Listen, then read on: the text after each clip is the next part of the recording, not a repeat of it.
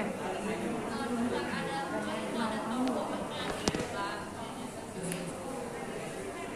Sekarang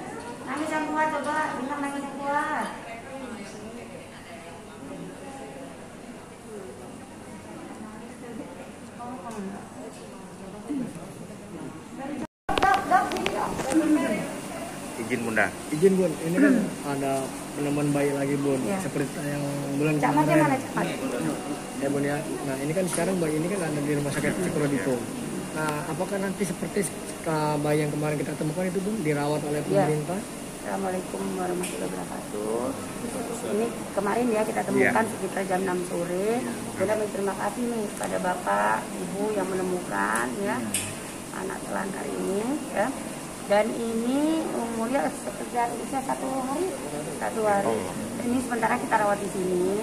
Kalaupun nanti ada yang memang ngaku boleh ibunya ya harus kita serahkan ke ini dulu ke polisian karena kan ini udah ditangani oleh polisi. Ya ibu ya? Udah ditangani oleh polisi. Tinggal nanti melalui prosesnya seperti apa. Dan ini kita namain bintang. Bintang. kalau yang itu Novita Sari Novita Cahaya Putri. Kalau ini bintang kita biar bisa memberikan kebahagiaan orang lain semua Bun Ada- kalau untuk kondisi seperti apa baik cuman eh, badannya digigit ini ya semut Iya. badannya digigit semut mudah-mudahan dirawat oleh dokter-dokter yang luar biasa ini banyak nih keluarga besarnya yang nunggu dokter-dokter sini Ada himbauan bun? Ya, Bunda minta tolong kepada seluruh masyarakat Kota Bandar Lampung.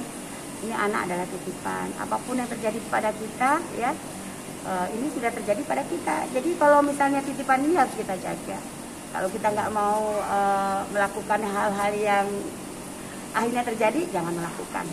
Karena anak-anak ini adalah titipan Allah yang harus kita jaga.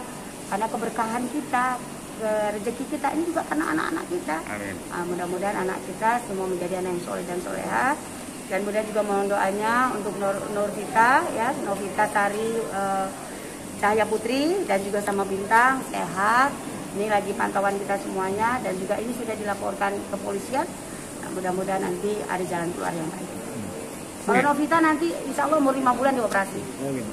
Ya iya. insya Allah ya Makasih bun. Bun.